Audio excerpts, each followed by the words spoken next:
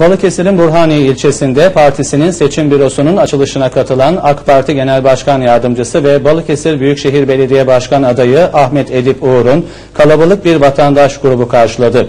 Uğur burada yaptığı konuşmada ilçeye müjdeli haberler verdi.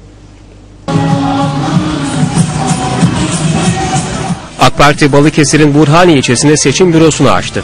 Cumhuriyet Meydanı'ndaki açılış için ilçeye gelen AK Parti Balıkesir Büyükşehir Belediye Başkan adayı Edip Uğur ve ekibi AK Parti İlçe Başkanı Özer Koyuncu, Başkan adayı Necdet Uysal ve çok sayıda partili tarafından ilçe girişine karşılandı.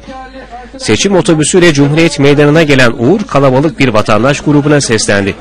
Uğur seçim bürosunun önünde yaptığı konuşmasında çok sayıda müjde verdi. Burhaniyelilerin Necdet Uysal'a ihtiyacının olduğuna inandığını anlatan Uğur, Burhaniyeliler Necdet Uysal'ı başkan yapacak. Biz laf değil iş üretiyoruz. AK Parti iktidarı olarak Körfez bölgesine güzel işler yaptık. Havaalanı Burhaniye, Edremit, Havran, Gömeç ve Ayvalık'a hizmet verecek. Bölünmüş yollar tamamlandı. Balıkesir büyükşehir olunca imkanlar da artıyor. Körfez zeytin bölgesi. Dünyanın en güzel zeytinyağı Burhaniye'de üretiliyor. İki yıldır zeytinde ilaçlama ile ilgili sorun çıktı. Bundan böyle zeytinlerin ilaçlanmasını Büyükşehir yapacak. Büyükşehir tarım ve hayvancılıkla ilgili çalışmalar yapacak.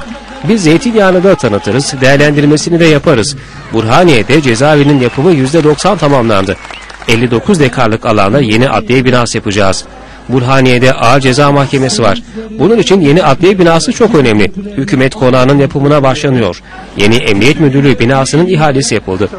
Belediyeler merkezi hükümete uyumlu olursa daha çok hizmet gelir. Burhaniye'de 6-7 yıldan bu yana hastane için çalışılıyor. Ancak dişliler uyumlu olmadığı için bu gecikti. Belediye başkanı oyaladı. Ben ve Necdet Uysal beraberce bunu yapacağız. Reşitköy Barajı'nın ihalesi yıl içinde yapılacak. Şimdi el birliğiyle seçim büromuzu açıyoruz dedi.